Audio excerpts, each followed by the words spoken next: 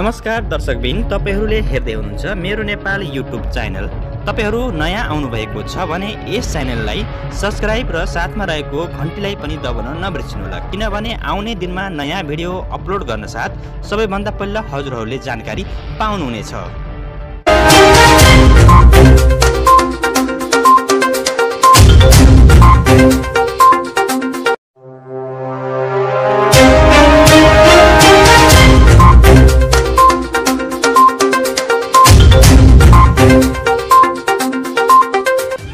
नमस्कार दर्शकबिन सदा झैँ आज पनि हजुरमाझ नयाँ अपडेट लिई उपस्थित भइसकेको छु।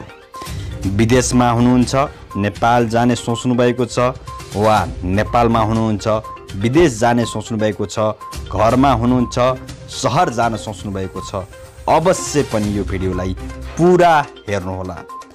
आजबाट नेपालमा लकडाउन भएको छ कुनै जिल्लामा। यो लकडाउनभित्रमा के के गर्न पाइन्छ के के गर्न पाइँदैन? यो भिडियो पुरा हेर्नुभयो भने सबै जानकारी पाउनुहुनेछ। यो लकडाउन कहिलेसम्म छ कुन कुन जिल्लामा छ? जानेको बुझेको कुराहरू म हजुरहरूलाई बताउने गर्दछु। यो भिडियोलाई पुरा हेरेर सेयर गरेर स्वदेश या विदेशमा रहनुहुने सबै नेपालीसम्म पुर्याउन मद्दत पनि गर्नुहोला। किनभने हजुरको एउटा सेयरले गर्दाखेरि ती नेपालीहरूलाई केही सहयोग अवश्य पनि मिल्नेछ। लागौँ आजको विषयवस्तुतिर अनि एउटा कुरा चाहिँ लकडाउन सुरु भएको छ घरभित्र रहनुहोला। कोरोनाको मापदण्डहरू पालना गर्नुहोला। हाम्रो छिमेकी देश भारतमा अहिले के अवस्था आइरहेको छ त्यो अवस्था नेपालमा नआउला भन्न सकिँदैन। त्यही भएर अवश्य पनि त्यो चिजको पालना गरिदिनु होला भन् पनि भन्न चाहन्छु। अब तपाईँ हाम्रो हातमा छ। लागौँ आजको विषयवस्तुतिर।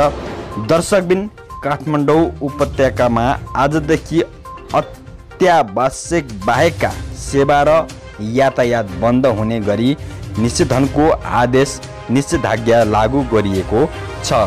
काठमाडौँ भक्तपुर र ललितपुरका प्रमुख जिल्ला अधिकारीको यही तेह्र गतेको निर्णयअनुसार आज बिहान छ बजेदेखि नै उक्त आदेश कार्यान्वयनमा आएको हो।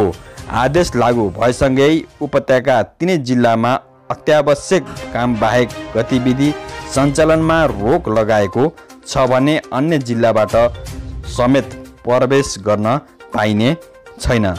आदेशअनुसार सबै प्रकारका सभा सम्मेलन गोष्ठी तालिम seminar cinema hall party palace swimming pool shopping mall मनोरञ्जन स्थल सैलुन ब्युटी पार्लर जिमखाना समूहमा खेलिने खेलकुद पुस्तकालय सङ्ग्रहालय चिडियाखाना आदि सञ्चालन गर्न पाइने छैन।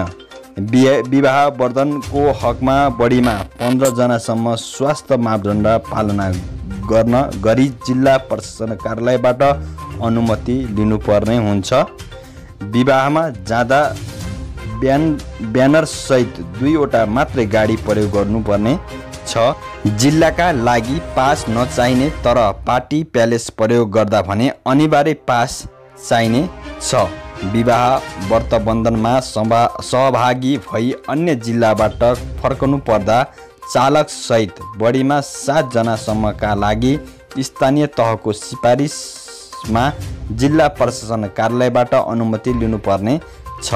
मृत्यु संस्कार वा बिरामी कोरुवाका रूपमा अन्य जिल्ला जानुपर्दा विवरण खुल्ने कागजात निवेदन अस्पतालको कागजात वा स्थानीय तहको सिफारिससहित प्रशासन कार्यालयबाट पास दिनुपर्ने व्यवस्था गरिएको छ।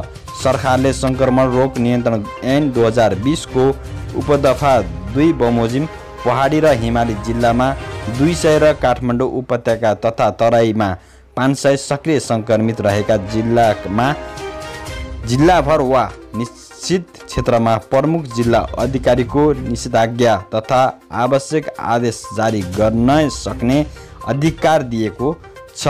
सोही अधिकार प्रयोग गरी उपत्यका आजदेखि लागू गरिएको आदेश यही बाइस गते राति बाह्र बजेसम्म जारी रहने छ।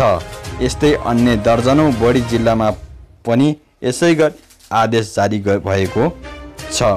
उक्त अवधिमा अत्यावश्यक सामग्री बोकेर ढुवानीका सवारी साधन बिरामी तथा करुवा बोकेका एम्बुलेन्स स्वास्थ्यकर्मी तथा सुरक्षा निकायले प्रयोग गर्ने सवारी साधन बाहेक अन्य सवारी साधन उपत्यकामा प्रवेश पाउने छैनन्।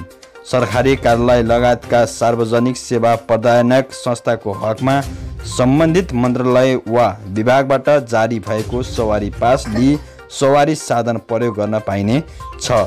विकास निर्माण कार्य कार्यमा चाहिने मजदुर र सामग्री ढुवानीका साधनको हकमा सम्बन्धित आयोजना वा कार्यालय प्रमुखको सिफारिस आधारमा पास लिएर चलाउनु पर्ने छ। यस्तै खाद्य सामग्री र औषधि तथा स्वास्थ्य सामग्री सम्बन्धी पसल व्यवसाय बाहेकका व्यवसाय बन्द गरिएको छ।